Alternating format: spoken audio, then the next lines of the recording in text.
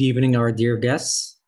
Thank you for joining us today in our webinar. I'm Badr Al from Archinet's team, and today's webinar is presented by architect Edward McIntosh uh, by the title The Impact Artificial Intelligence Artbots uh, Are Having on the Architecture Profession. Thank you for joining us today, uh, Architect Edward.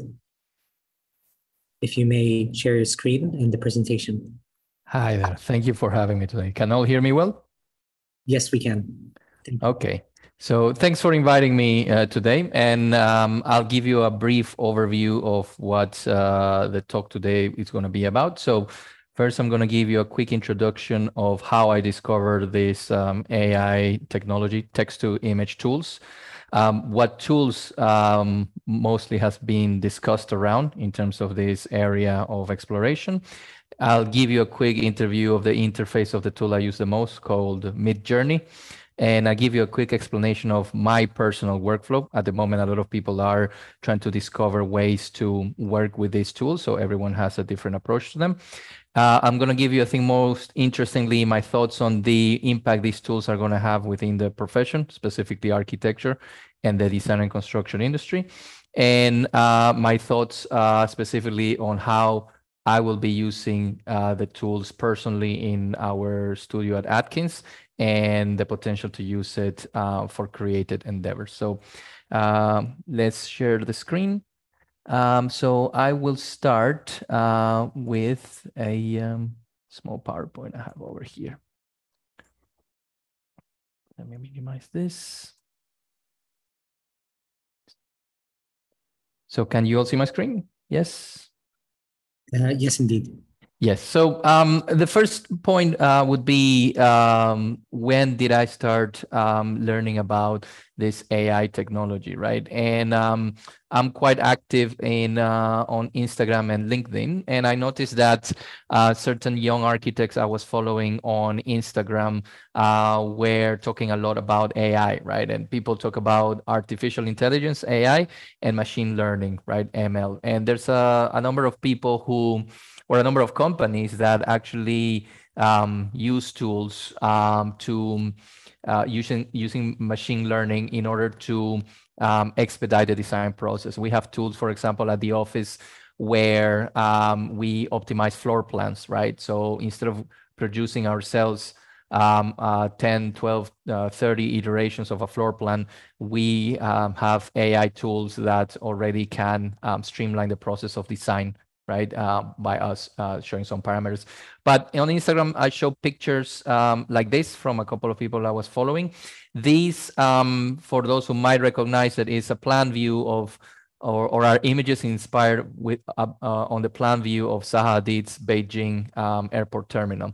And apparently what people were doing was uh, feeding an image and letting the AI create iterations of that image, right? So I got curious about it and I started um, looking at the different um, uh, options uh, that were available. Some of them are quite rudimentary. So for example, the one you're seeing on the screen right now is called Deep AI.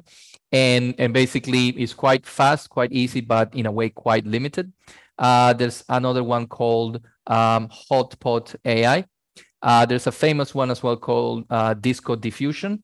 Uh, there's DALL-E 2, which is uh, created by, by a company called OpenAI, uh, which uh, Elon Musk is part of. Um, and the key one that I'm going to be speaking on about today, which is called Midjourney. And I'm going to go online and and for those who maybe you are using some of these tools, maybe you're not, but I'll give a quick overview of how to get started uh, with them. Um, I encourage everyone to, uh, you know, we are in the age of the internet, so I encourage everyone to, um, after this lecture, if they're interested, get in one of the platforms. Uh, Midjourney is quite accessible now. Um, I had to wait. I think I, I I got in six weeks ago, and I had to wait for about a month for the invitation to come through. Now the now it's not done by invitation. Now it's open. Um, and one of the things um, I'm going to show you while we're on um, Midjourney is a little example of how my design process works uh, based on um, a task, let's say, my sister gave me yesterday uh, night, uh, and and I'll show you how um, my particular way of getting to a result is right. So let, us jump straight into that. Um, so yesterday, my sister, um, she is a fashion designer in Los Angeles, and she was following this account on Instagram, and she uh, saw these images, uh, which were, um, if you see at the bottom, mentioned that they were created uh, with artificial intelligence. And she wanted uh, to know, um, she's been using Midjourney, but she wanted to know or asking me, how would you go about creating exactly this, right? Um, part, part of it you, I'm going to show you is references. So it reminded me of this um, album uh, cover from the Icelandic artist Björk. So I'm going to show you how to use image references on on Midjourney. Uh, and also, I, I one of the things I really wanted to talk about before we jump into the actual um, interface uh, of of the tool. Um, nobody, because it's quite new. Nobody that I've read from architects and artists, not from developers, nobody has clearly explained to me, or I haven't found an explanation clearly online about how the um, the tool works. And I wanted to show this example uh, about shoes because I found it quite interesting. Um, if you see this image uh, in the bottom to the right, there are two shoes, one behind the other in perspective. But if you see, they are both merged into each other right? And if you see in more detail, almost all of them do the same. And so I'll try to explain it in, in the easiest way possible, but my this this overlapping of the two images, what it kind of hints to me at is that the the AI doesn't know what's 2D or what's 3D. Even though these images look like they are a rendering of a 3D model, I think what the, the way the AI works is that when you write a prompt, uh, an instruction for it to, to create an image, it actually goes online and looks for images that have similar description. But it doesn't know and it doesn't care if they are flat or three-dimensional or anything, right? We, we need to remember that the tools currently that are very popular, Midjourney and DALL-E, for example, are basically geared towards or focused on artists, graphic artists. So graphic artists work usually in 2D, even though they might sometimes represent three dimensions and, and depth, usually um, they, they do 2D drawings. So really there is no tool currently in the market, although probably they're gonna appear soon, that it's crafted for architects, right? And so what I think it's, in, for example, when I tell it to do a pair of shoes, it scans all uh, the most relevant uh, shoe images it can find. And when it finds an image of two shoes, it doesn't know that they are in space one behind the other. It actually thinks it's one silhouette. So it's one flat thing and just infills it. But so the way I describe it is that it samples different uh, pixel patterns in the images it looks for on the internet, and then it creates its own pixel collage. And why I think the distinction is important is because some people think that this is an the, the AI creates a 3D model and then it renders it. It, it doesn't. This is this doesn't exist in three dimensions. It's always been just a bunch of pixels um, um, collaged together, right?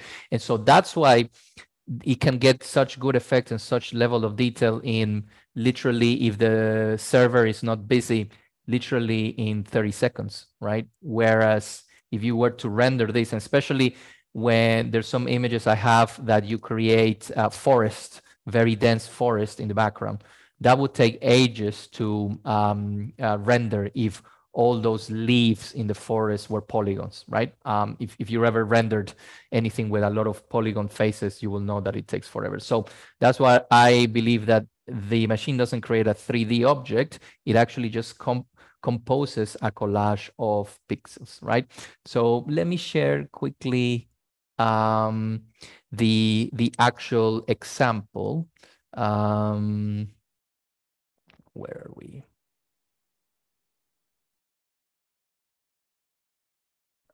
Over here, give me one quick second. So I'll tell I'll, I'll I'll I'll show you the example of Midjourney. So I'll go. I'll explain to you. Let's explain to you first um, if you haven't been in Midjourney, how uh, Midjourney more more or less works when you join. So basically, what happens is that you need to go. And apologies, I'm 44 years old, so I had to discover this thing called Discord. I didn't know what this thing was apparently this is where people play Fortnite, which I know it's a game, but I don't I've never seen it. I don't know what it what it actually is or or how it works. But if you ask me, uh, a very old person, what Discord is, it looks like it's a um, chat room, right, where people interact. Like when I was young, we used to have MSN Messenger, right? So basically, once you get your Discord um, uh, account with your username, you need to find the Midjourney uh, server, right? Um, and you can you, you can find an invitation. The invitation is something like uh, Discord backslash backslash Midjourney, right? And you'll find the server. Once you are in the server, you'll have this um, interface. You'll have the channels on the left, and you have the users on the right, including, very importantly, the Midjourney bot, right? And so when I started, um, you start on one of these channels, and they advise you to to find the the channels called newbie, because those are the people, obviously newbies who have just started. Because I am not a newbie anymore, I think I don't have access. Oh, I have two newbie channels here. I tried the newbie channel the other day, and actually it didn't allow me to do anything because it's, it sent me a message saying uh, I'm not a newbie. So anyway, so if you go to general, for example, I think it's it's very important um, or very useful to start in the shared chats, either general newbie, because when I started, I, I really don't know what this whole thing was about. Uh, and so you can see the images, and then you can see uh, what people wrote in order to create those images, right? So you can start um, learning and correlating things. The other interesting thing is that you can interact with the work others are doing. So for example, um, if you wanted to start, what you would do is, I, I guess this is the most important command, backslash imagine. And once you have that, you can write whatever comes to your mind. So for example, a flying cat, right? Very short and very simple description. So it's going to be very loose. So while that waits, other people are typing as well. And the interesting thing is that you can interact with things others are doing. So for example, if you really like this uh, image, you can click yourself to make a variation of it, right? So it'll give you four variations of this theme. You can upscale it to the max, meaning that it will add more detail and a slight change, and you can rate them uh, it's really bad, so-so, uh, good or very good, right? And, and, and then they become your thread and you can analyze them. Okay, so now to talk about um, the, the general buttons. So usually what happens is the person wrote backslash and did this description, right? And the first thing you get is four um, uh, four um, different iterations of that description. And so they're numbered uh, in order one, two, three, and four. And so you have the buttons U1, 2, 3, and 4, V1, 2, and 3, and 4. U means upscale. So when you, you'll get one of these, you'll be upscaling more detail like this, right? And once you're there, you can upscale to the max, right? Or you can do, if you want to bypass the upscaling, you can directly do V, meaning four new versions of one, two, three, and four or you can repeat this again using the um, repeat button, right? If you upscale one of these, right, and you get it into a more resolved uh, variation, um, you can then ask for four more variations of it, right? So it's pretty uh, straightforward. Now, now that I I spent, I guess, a week on on the public channels, after a week, um, it started being a bit annoying, mostly because um, seems it seems it has calmed down because there's more channels. But when I joined six weeks ago, what happened was that there was so many people um, inputting that your the input that you put in that you tapped in uh, tended to get lost. And as a matter of fact it kind of has happened to me. I typed um, flying cat and i don't see where it is. Oh here is still waiting, right? So at the moment, um, it's become very slow, to be honest. Even for paying customers, it has become very slow. So in terms of, you know, um, the it's very good to be on the shared channels to um, learn a little bit and to uh, even interact with others.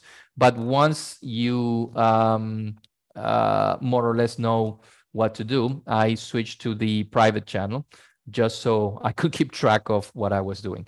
So same thing inside the private channel. So really here, what you're doing is that you're having a private chat to the bot, so only you and me.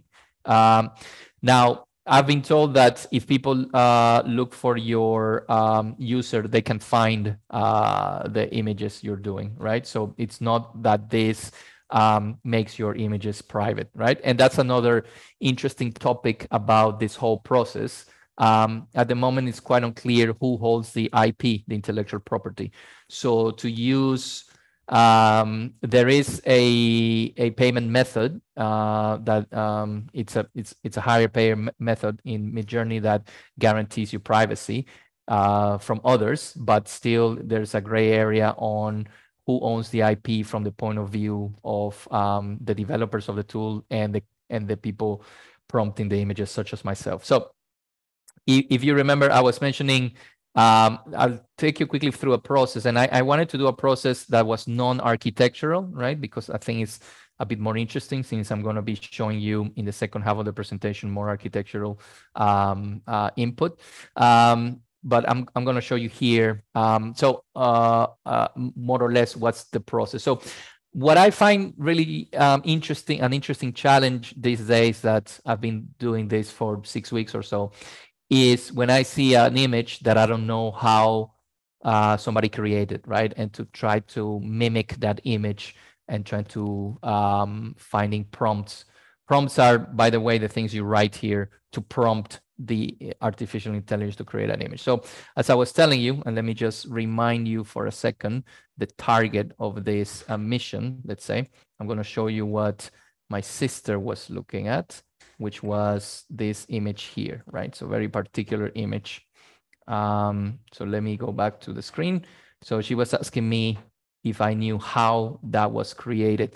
Very particular in terms of looking like real people, but like inflatable uh, mannequins and with exaggerated features and with this kind of glossy finish, right? Um, so I tried to, one of the things I told my sister was that don't tell the try to not tell the ai what to do. Try to tell the ai what to copy. And so what i'm trying to say there is that it's much better imagine you're doing a building right?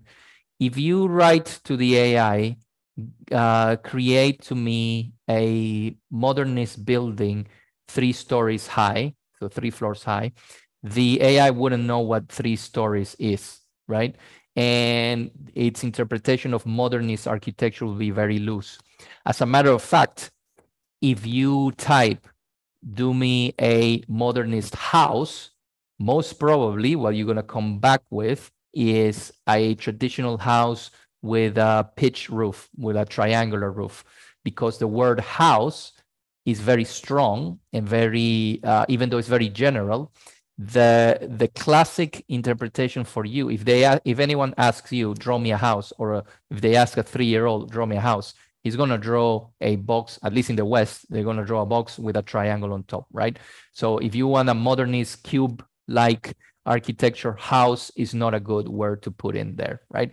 And so what you should do is actually tell it to copy something especially something famous. So who then you need to think, for example, and this is part of the process. You need to think who would be the architect that creates that is famous enough, so there's enough images on the internet that creates buildings similar to what I want. And so for a modernist building, for a cube-like building, probably is Richard Neutra houses, or probably is Richard Meier, or somebody along those lines. Uh, Ricardo Bofill from Spain, probably, although he has his own style. Uh, when I've used Ricardo Bofill, yes, I get um, cube-like um, architecture, but it's always on the pink color because most of the pictures you would find of Ricardo Bofill online are from his project called La Muralla Roja, the red wall, which is actually a pink building, right? And so having that in mind, I started this morning uh, trying to um, approach what my uh, sister had shown me. Uh, and I started with the basics, a highly stylized, stylized supermodel face with narrow eyes and thick lips, which is what I saw on her image. Doug Aitken style, I put it there because uh, I know this is a photographer who does a type of installation work that I thought looked like my sister's image, right? But it didn't give me anything that looked, I mean, it gave me a face, but it didn't give me anything that looked like uh, what my sister wanted. So that was a failed trial, right? Then what I was thinking is actually, you need to think about what you're actually seeing. So did I see on my sister's reference image a human face or a doll face, like a plastic doll? So then I was thinking maybe we start with a doll, right? So like a doll face with sparkle gloss and highly stylized supermodel face, narrow eyes, thick lips, etc. Again, I think it got it a bit more interesting, but not yet uh, what I wanted. I gave it another try, same thing, not what I wanted. Um, I tried it backwards, right? To emphasize the photorealism, I put the photographer first, but still it got stuck in, in, a, in a position that um, I wasn't very happy with. Now, so as I was saying, the best thing is not to tell it what to do, but what to copy.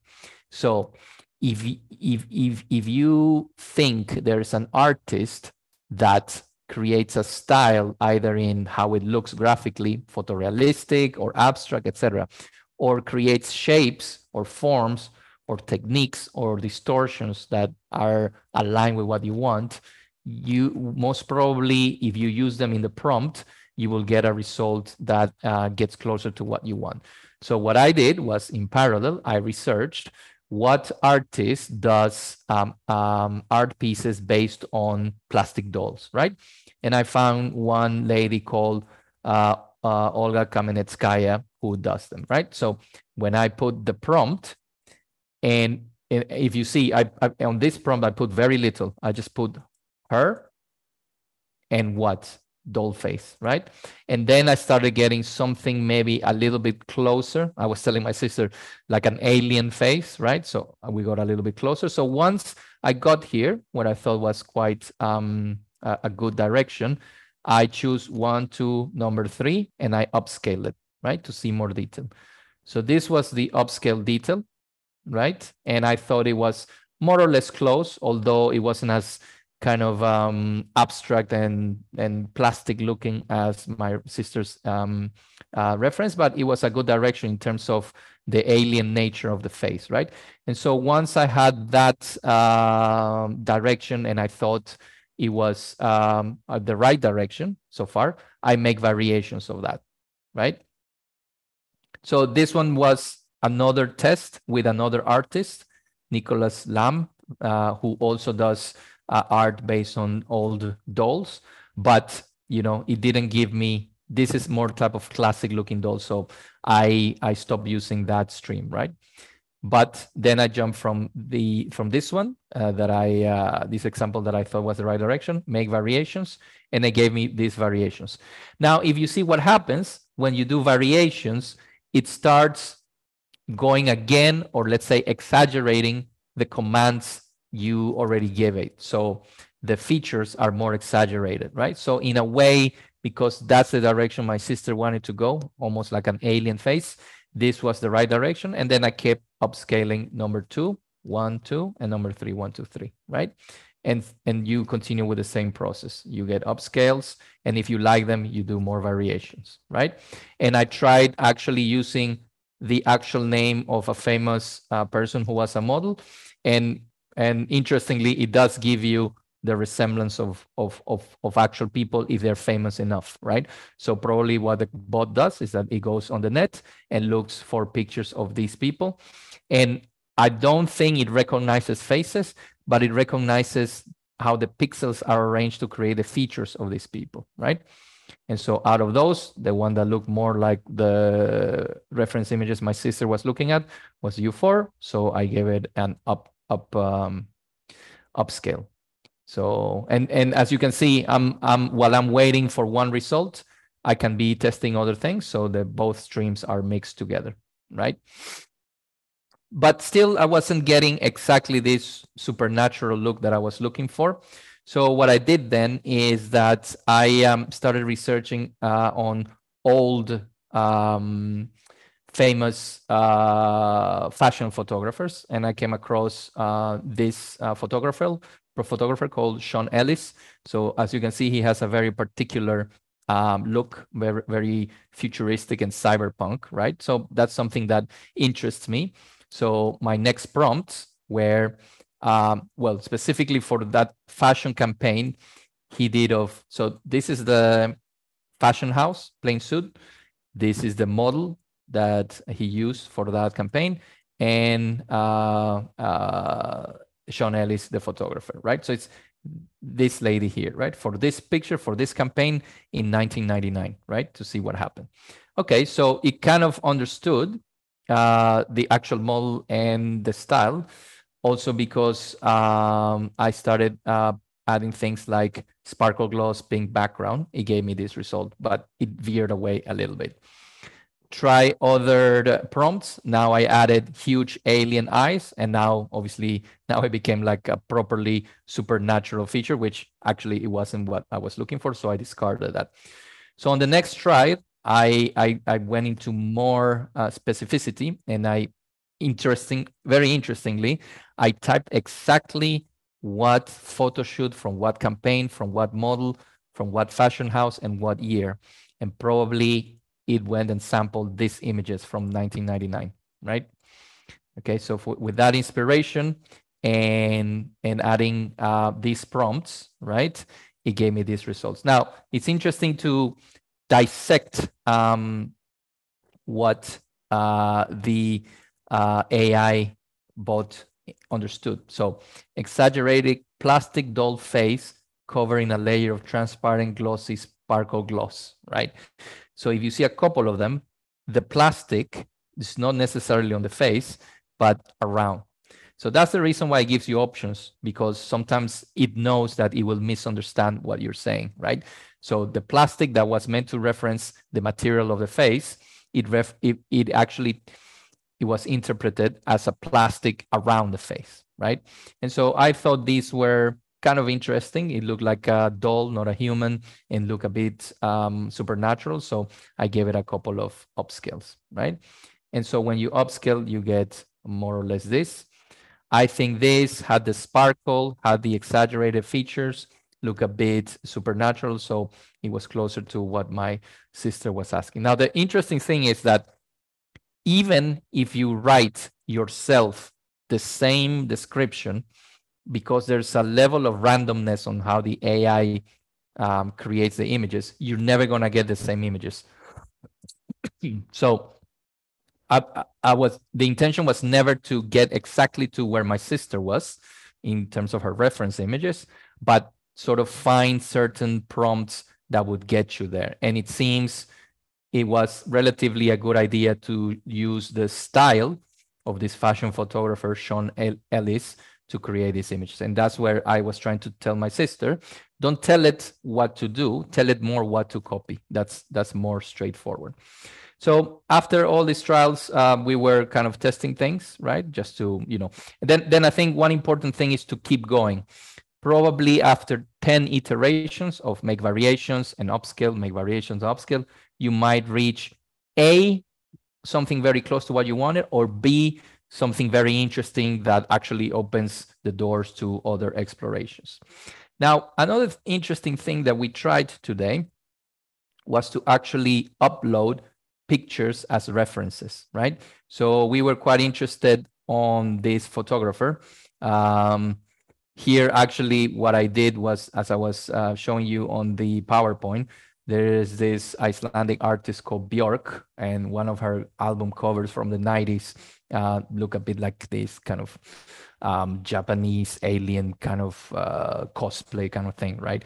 And and and we mentioned her here and the name of her al- album, but what happened there is she's so strong in terms of being very um, findable on the internet that actually tried to replicate her face. So it moved away from the model lady that we have prompted before, which is very similar looking to this, to uh, Bjork's face, right? So you know, it's it's interesting how if somebody's more famous or findable on the internet, it will default to that, right? Um, so the next thing we tried was to use an image as a reference, right? And so uh, this is uh, an example of it, right? So I again, I really wanted to uh, get an input from this famous photographer, um, um, Sean Ellis. So I googled one of his images, this one, and I there is this is one thing you can do in AI. You say to it, um, you give it the uh, web address of an image, and it produces variations based on that image, right? So this whole series that you're going to see here is are based on modifying images. So I'll quickly show you um, how to do that because it's quite interesting. Uh, let's say Zaha Hadid uh, building. So what you need to do is you find the image you want. Now, not all images work. So let's see if this one works, for example. So you go to the origin of the image, right? um, let's say the Azerbaijan image, yeah, and you do copy link. It, it does depend where the um, image is um, hosted, but let's try it while I show you some other stuff. So imagine, and I'm not gonna tell it to do anything with the image, just interpret the image. Let's see. So while that uh, thinks, let me switch to talking about, so more or less I, I hope this gives you an overview of what I wanted to contribute to this discussion in terms of how to generate the images. Meaning, I'm not going to talk to you about uh, the syntax or the. There are small commands, like for example, if you go to the general chat, you can see that um, people tell it. People, you can tell it to change the um, uh, the ratio. So the usual is a square, but if you put AR aspect ratio, two to three, you can change the uh, proportions, right? So that's a direct command, let's say. Uh, people are also, there are new commands this week uh, about quality, sharpness, and weight, right? Which, but all of this you can you can uh, watch online and and and there's longer uh, tutorials uh, to learn from the technical point of view. But what I wanted to to show you was really um, what I wanted to show you was really um, how um, the logic behind um, the, the logic behind how to create the images. And I think the one thing I can contribute the most is this idea of tell it what to copy, as I was explaining to you, a photographer, a photo shoot, a famous movie, a famous image, a famous architect like Richard Neutra, right? rather than telling it, uh, do me a building uh, that looks like a cube, right? Because it might get there, but it's much easier to um, uh, to tell it what to copy. Somebody asked me on LinkedIn this morning, how do you make the the, the images like the image uh, you're seeing on the screen right now? How do you make the images look photorealistic? Do you do uh, V-Ray rendering or Unreal Engine uh, rendering or Octane rendering. No, if you if you can do those, of course, and you can do terms like Octane or Redshift rendering, um, Epic lighting, uh, uh, sun, fog, whatever. Uh, but it'll always look like a render. You can put hyper realistic uh, and it look very impactful, but it always looks like a rendering. If you want, and some people want different things, if you want to make it look real it's very simple you just you just you just write nature photography right? Or if you do again like my sister was doing uh, something related to fashion you just put fashion photography and it will do uh, a, a an imitation of a real picture. I was doing on the series of narratives i'm putting on linkedin uh, this week polaroid and it just makes it look like a Polaroid picture, like an actual real Polaroid picture. And so that is also to reinforce the idea I was telling you. This thing is not a rendering engine and it's not doing a 3D model and rendering it. This thing is copying something. So if you tell it to copy a render style, it will copy a render style and it look like V-Ray or Redshift or Octane. But if you tell it copy a photograph, right, like from National Geographic or whatever, it will copy that, right? So on all these in on these vegetation images I'm I'm showing, I'm going to show you another images. I I used in terms of the render style or the visualization actually visualization style. I just put uh, photography, nature photography. I've seen some people even put photography and the technical um, description of the, of the photo photography settings like ISO 100, aperture this, speed that of the of the shutter, etc. Right. So let's jump quickly, uh, not to extend this too much, on what do I think is the use of the tool. Right. So uh, talking to other architects around the world, the thing we have agreed on is the best use at the moment because it's not designed for architects yet is as internal inspiration for your studio. For example, uh, before we were using Pinterest or any type of board to exchange reference images, right? But sometimes you cannot find a reference image. So for example, if I'm gonna tell my team, let's design in Saudi Arabia a, a, a residential development um, in let's say in Alula, right? So it's kind of like uh, rocky and and and and very natural, um, and very tied to the earth. Let's let's create a residential development like Venice with canals and water canals in Alula. How would you do that? So in the past, you will have a reference uh, picture of Alula and a picture of Venice, and you might do a hand sketch, or you'll try to collage it, but it will look like a collage, or you'll try to model it and rendering it, but that takes a long time right? And so instead of doing that, you just type it in the computer and it gives you this, right? And they it, and and it, and it gives you a lot of versions of how that could look. Like uh, I think the prompts for this were a Nabatean uh, um, a Nabatean um, uh, village constructed out of coral rocks with canals like Venice, right? And so it gives you this. Then uh, I want I personally always wanted to do a project that was a house, a modernist house with um, alabaster of marble walls where the light can go through and glass bricks, tiny glass bricks, right? So I typed that and it gave me this. If I didn't have the tool, what I had to do would be to model it and render it, right? And probably the rendering won't come out as rich as richly textured as, as these images, right? Here, what I wanted to test always was in the Caribbean, a, a resort that looked like um, an actual coral reef inside a jungle in Costa Rica, let's say, right? And so to do that, you need to design it, you need to uh, model it, and you need to render it. But if you just put that on the machine, it gives you these ideas, or let's say the flavor, the look and feel, or the Pinterest board that you can be inspired, your team can be inspired, and then start designing. Now, the risk with this is very clear because they look so realistic in a way and they're so compelling. If you show this to the client, most probably the client will not understand, even if you explain to them that this is just as good as a hand sketch. It's not a 3D model, it's not representing any type of reality in terms of geometry, materials, even sun, right? It's just a hand sketch. But because it, it looks real, they're never going to understand it. So once you do that, you're going to run into two problems. A, the client is to be very scared because it looks very difficult to build because it's very abstract and organic, etc. Or B, he's to love it and he's to tell it tell you i want it exactly like that.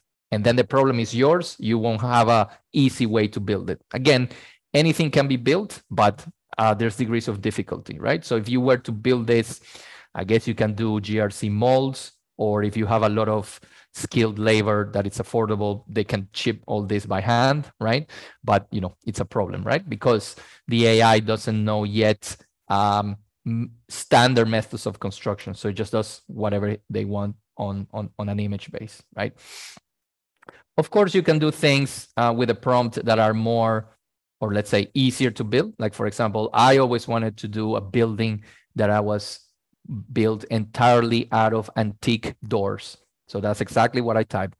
A building, a modernist building that is composed of stacked doors of uh, carved in antique wood. And this is what the building gave me. So in order, if I say to a client, I would like to make a building out of doors, probably the client is not gonna understand what on earth I'm talking about. But if I, I show him the image, then at least we have a common ground to discuss about, right? And, but most importantly, I think in terms of sharing with clients is a bit dangerous, but I think definitely there is a place for it to create um, um, an imaginative, creative workflow inside your studio amongst architects. We have also been using uh, the images for backgrounds. So for example, uh, if we want to place a building in a beautiful desert context, in our case, right, uh, we will create a background uh, for the rendering in in in AI and place it there, and and we can tell if it, if it's day, night, foggy or not. If you wanted to do a house in the Amazon, as I was telling you, uh, all these plans to render all of this would take forever, right? So it's much better to create it here and, and render it and use it as a background. Here, there are some examples of um, a theater we wanted to do, um, let's say in the center of, uh, between Alula and Neom. Um, um, uh, we wanted to do a um, concert hall inside uh, one of the wadis, right? And so we wanted to explore ideas of how a concert hall made out of carved rock would look like, right? And so all of these things are in a way unbuildable. And if you think about it, they don't, if you pay attention, they don't even make sense in terms of the composition, but at, at least they gave us a good look and feel of different uh, things that we could explore in terms of being a very geological like uh, concert hall, right? Which without the tool, we would only have reference images of a cave from the internet and reference images of a concert hall from the internet and maybe a hand sketch, but nothing as compelling as this, right? Here, we also wanted to see how uh, an installation of this famous artist called James Turrell, who always does this type of atmospheric lighting, would look inside a cave, right? Again, this will be difficult to do, or they will take a lot of time to do um, um, by hand, let's say. Right. So let me jump back. Let's let's check where we are with um, uh, Midjourney. I think we are on the internet, right? Uh, hmm, I'm a bit lost here now. Um, show a Windows one second. Okay, I found it. So let's see what it was doing.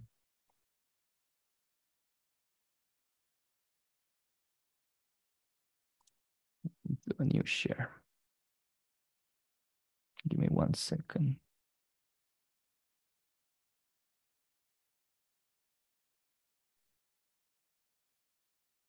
Oops.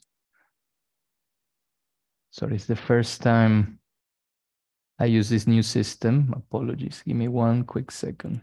I just wanted to go back to Midjourney to see, to show you what it had done on the um, Zaha Hadid. Okay, I think I see it now. Let's share screen.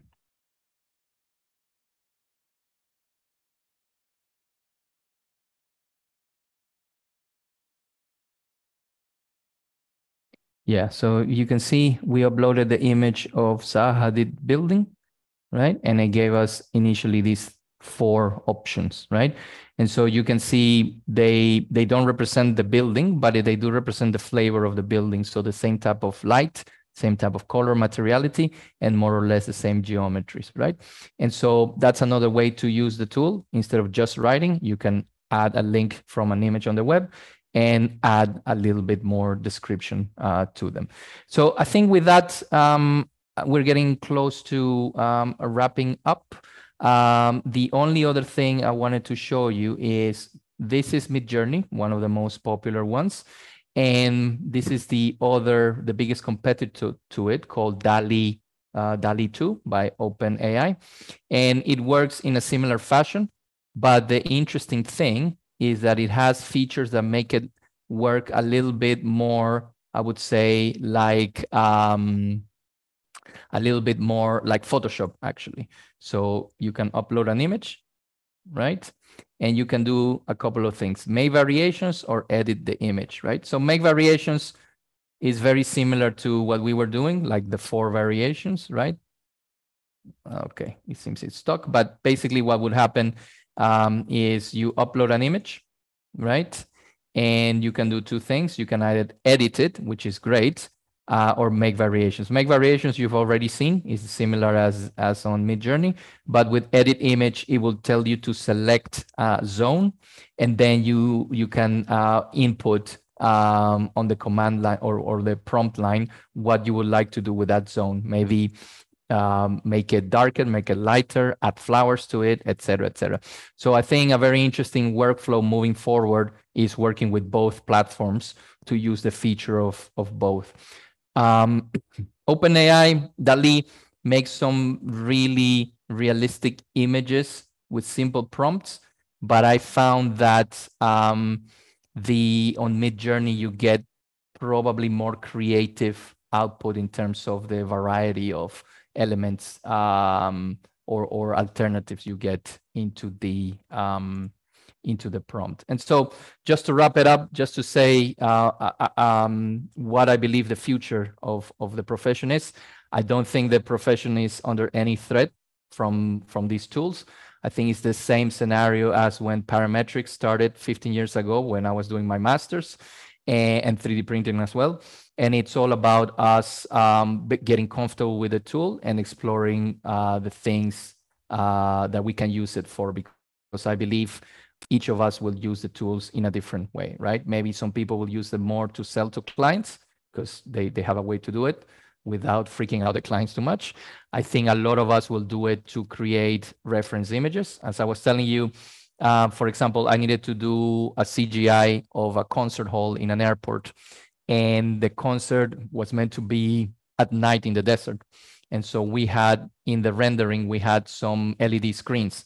And so to find a reference image exactly like I wanted of a desert uh, with um, uh, a concert going on was very difficult, right? That's kind of um, you you never seen anything like that.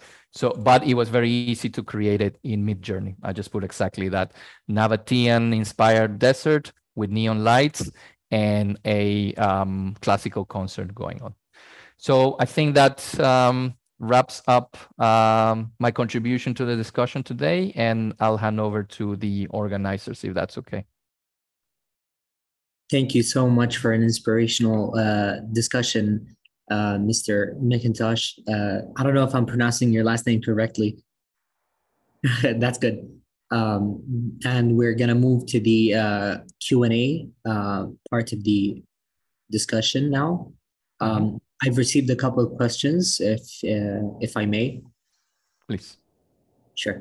so you uh, Mr. McIntosh, you recommend using uh, Midjourney in terms of using it for conceptualization uh, inspiration. Isn't that is that correct? Yeah, um, absolutely. I think um, mid. I, I, guess the question could be interpreted two ways. Do I prefer the bot service called Midjourney versus other ones like DALL-E? Um, at the moment, is the one uh, that is becoming the most popular and the one that I got invited to first, right? So that's the one I've been using. But I highly encourage, as with any tool or software, use and test as many as you can. So try DALL-E, try Midjourney, and try the new uh, competitors that are going to the market.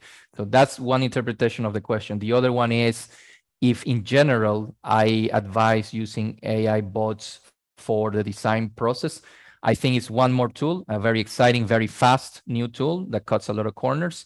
In a way, it's almost like saying it's uh, turbocharging Photoshop, right? Because we would do these things in a more mediocre manner in Photoshop, collaging things. This, if you if you learn how to use it, this accelerates that reference image producing uh, process uh, a lot. So yes.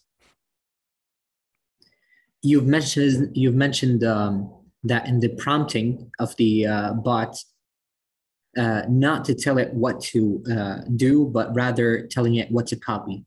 Um, and what is your advice uh, of the terms to use?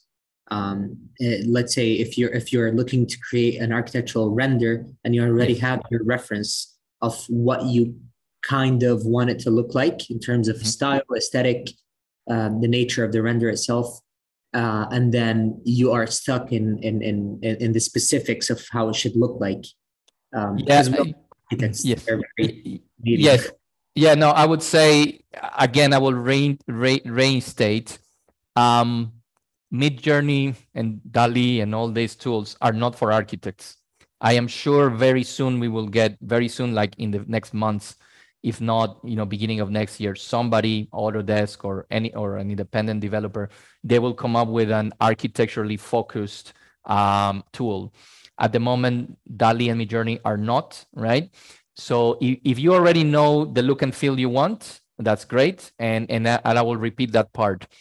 If you want it to look natural, like re- the most realistic, don't put any type of rendering reference. Just put photo, photo photograph, right? Or nature photography, right? Or put a name of a famous photographer because photographers have different styles: dark, light, uh, edgy, overexposed, underexposed, right?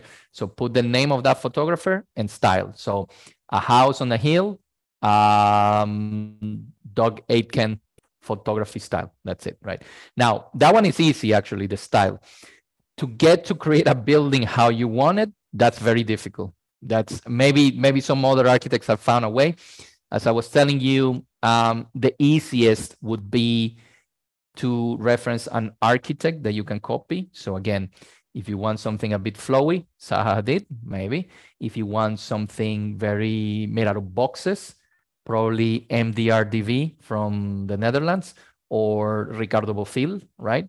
Or you can tell it things like, do me a tower like a Jenga tower. I don't know if you guys know Jenga, this this game where you slide the, the timber blocks, right? Yeah, the puzzle. Yes, yes. Or or you can tell it, do me a tower like a Tetris blocks, right? Or just tell it, do me a tower that is a bunch of cubes stacked on top of each other irregularly, right? So you need to test what the, the thing understands.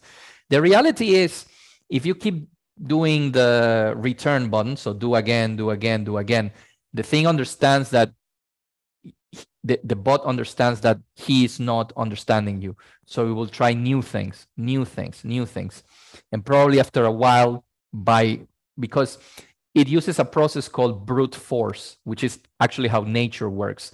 Nature actually is not intelligent. Nature is super dumb. Nature tries everything, right? And everything except one thing fails. And the only reason nature is successful is because nature has unlimited time to test all of the options in the universe, right? And so it fails 99.9% of the time and it's successful only in a small margin. So everything you see in nature, animals, us, etc., uh, from a, let's say from an evolutionary philosophy, let's say, right? It's um, it's actually the tiny amount of success stories, and this is the same way these algorithms work. They'll just try everything. Obviously, the more you start understanding the logic of the of the algorithm, and and and actually, I've noticed the more you use the bot, the because the bot knows who you are, right? It's specific to you. The bot knows the things you like so the more you use it, the more it knows where to go. It's a good thing and a bad thing. For example, when I started, I started doing actually jewelry. And so I put a lot of gold prompts. And so now, if I don't tell it the color of a thing, it always does yellow. So if I tell it, uh, make me a building in uh, South America, it makes a building in South America and it's yellow. So I need to tell it, don't use yellow, for example, or, or I need to specify the color. So, so what I'm trying to tell you is easiest if you're getting stuck is give it a reference architect uh, or building that you like. Be careful with terms like house, because you're always going to get this. You're going to get a triangle roof, right? Roof, yeah. Yep. Oh, perfect. So uh, we're going to move into the technical aspect of uh, of using such uh, engines, let's say. Mm-hmm. Uh, it, so, in, in, the traditional uh, understanding of using AI, uh, or the traditional uh, way, orthodox uh, matter in, in, in using it, you would have to have a, uh, great computing power uh, yes. in order to run those, uh, let's say, ML, machine learning, um, and, and, and as well as allowing the engine to process the information. Um, how uh, do you need such processing power or such computing power in order to use uh, those uh, engines? Yeah, the great thing is that uh, Midjourney and uh, DALL-E and all this stuff, because they are, uh, I don't know the technical uh, nature of this, they're not running in my computer. So the way I work with this is uh, when I'm at home I, or the office, I use the laptop. And while I'm doing emails or renderings or whatever, I type something and I, I, I let it do it, right? So it's on my laptop. If not, I use it on my phone on an app on the on the not the midjourney app actually but the discord app yeah. right? And so i just type. So really the computing power that you need on your hardware is nothing. It's just an internet connection right? Because all the computing is done on their server. That's awesome. Um, and then what is the uh, you mentioned as well uh, the ai intellectual property in reference to uh, the works that are being created uh, what are the limitations, say, if you want to use those iterations in a commercial matter uh, to present them to the clients, maybe using them as part of your uh, delivery scheme and yeah. uh, that, that's that's a great question and to be honest um, the nature of the projects in in saudi and the middle east is quite confidential right? And it's very very very strict. So unfortunately I wouldn't be using the uh, material we produce uh, on these platforms uh, for formal work at the moment. So let me let me break it down. So on Midjourney, uh, there's certain levels, right? Since I work privately on my on chatting directly to the bot, uh, people cannot actively see what I'm doing and what and what my prompts are. Okay, that's fine but I think if they search, they could. Now, we have another company uh, plan that you pay a bit more and you're totally private. Okay, so so strangers wouldn't see it. That's fine. But we are still not sure, and this is a legal matter we're trying to get to the bottom of, if the providers of the service, the owners of the bot, if they have any right to the IP, to intellectual property, A, and B, if they can see see it. Probably they can right? Um, so we cannot use it for projects especially in kingdom right? But what we can use it for is to inspire our discussion internally. May, meaning our design process in the studio for a project would be for a specific project. We have a room like a war room that we all share whoever is working on, on the team during a competition of a project. And we will create the images for us and we will put them as reference images. In the same way, we would do by just Googling, uh, for example, cave. So we want to see caves and we will Google and get images from the internet of caves, right? And and um, we will use it in the same manner. So it will be public domain anyway and then our actual design that we produce and that it's under NDA and, and IP ownership by our client is ours and nobody can see it and nobody owns, well, our client owns it, but nobody apart from our client has a right to it. And in a way, as I was telling you, it's okay because we need that step anyway, because as I've explained, these tools are not yet created for architects. So we actually need to model whatever we or the client likes or we like. We need to model it, and we create plan sections, elevations out of first in in in my office, Rhino and Grasshopper, then through Dynamo connected to Revit, right? So that's that's how we do it, right? So at the moment, it's just inspiration images for us. Well, Mr. Edward, I believe this brings us to the end of our uh, session today. Thank, Thank you, so much. much. for an inspirational uh, discussion and uh, definitely an eye-opening experience.